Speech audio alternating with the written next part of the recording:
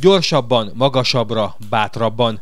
Ez a Betlen Gábor Református Általános Iskola óvoda sport tehetségeket fejlesztő programja, melyet az Emberi Erőforrások Minisztériuma is támogatásra méltónak ítélt. A sport tehetségeket fejlesztő tehetséggondozó program tanórán kívüli a sport tehetség kibontakozását segítő integratív szemléletű, a fizikai és érzelmi tényezők az alapkompetenciák fejlesztését, a támogató környezet megteremtését segítő, megvalósító foglalkozás sorozat.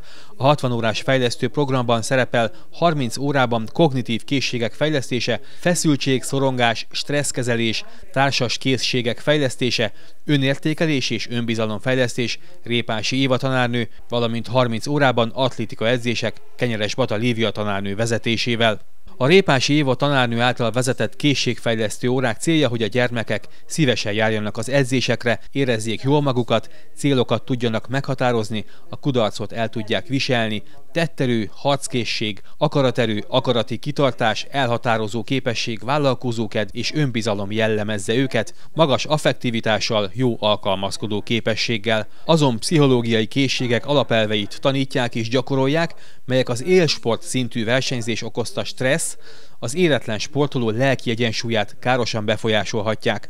Ezért megtanítják a gyermekeket a relaxációs eljárásokra, önerősítő tréninget tartanak.